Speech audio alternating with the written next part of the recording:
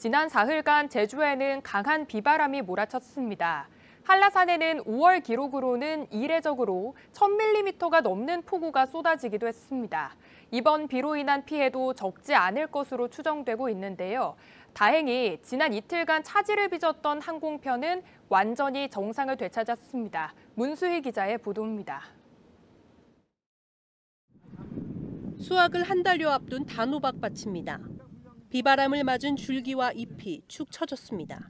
한참 열매가 자라는 시기에 줄기가 뒤엉키고 꺾이면서 농민들은 한숨이 절로 나옵니다.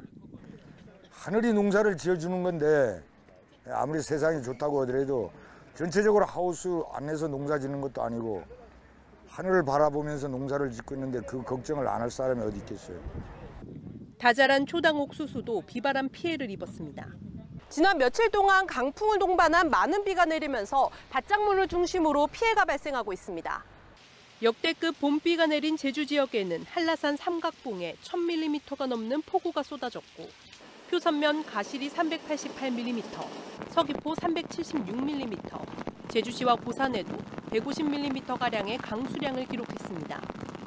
이로 인해 현재까지 옥수수와 단호박, 보리 등 모두 500여 헥타르에서 침수 등 피해가 발생한 것으로 확인됐습니다.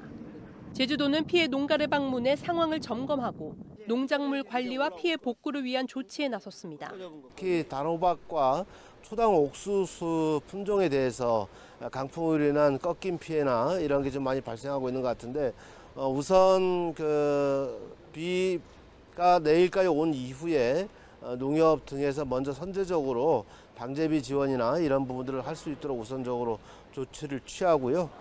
비구름이 거치면서 막혔던 하늘길도 본격적으로 운행을 재개했습니다. 궂은 날씨로 제주도에 발이 묶인 수학여행단 등 체류객 2만여 명은 임시 항공편 등을 통해 모두 수송됐습니다. 하지만 오늘 예정된 이용객의 지난 이틀간 결항편 승객까지 한꺼번에 몰리면서 제주공항은 하루 종일 큰 혼잡을 빚었습니다. 학생들은 이제 4박 5일 했는데 5박 6일이 된 거죠. 숙소도 그러고 시- 먹는 것도 그러고 참 서로가 힘들어가지고 황금 연휴에 제주를 휩쓸고 간 이례적인 5월 폭우가 곳곳에 생채기를 남겼습니다. KCTV 뉴스 문수입니다.